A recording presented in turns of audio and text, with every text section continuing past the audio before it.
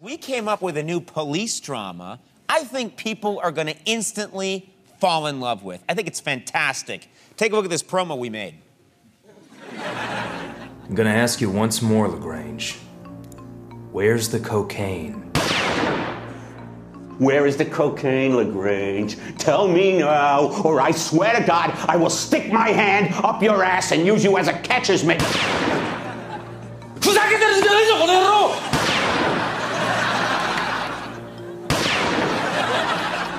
Did you know Tom Cruise was supposed to play Kevin Bacon's part in Footloose?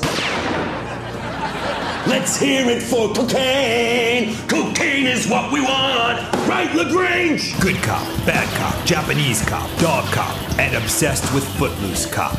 One of them always gets his man. That's a show you would watch! That's a, that's a winner. Yeah.